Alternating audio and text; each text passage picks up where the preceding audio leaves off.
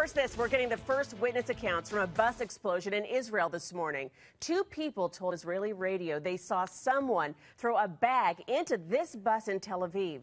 That person then ran away and the bus exploded.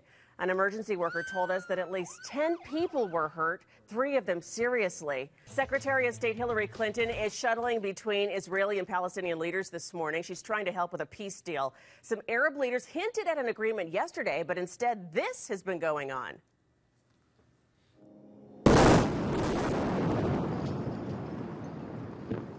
Israel's military blew up buildings, tunnels, and bridges in Gaza last night, even while a CNN reporter was on the air. Look.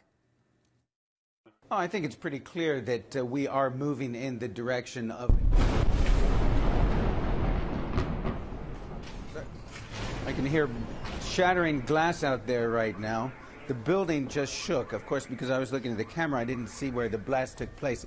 Anybody see it? Okay, to the north of this building here. So Despite talk of ceasefire, Hala, it appears that uh, the guns are still firing.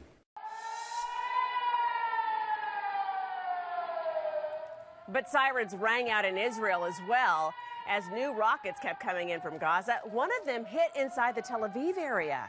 And Israel says it launched 100 strikes overnight.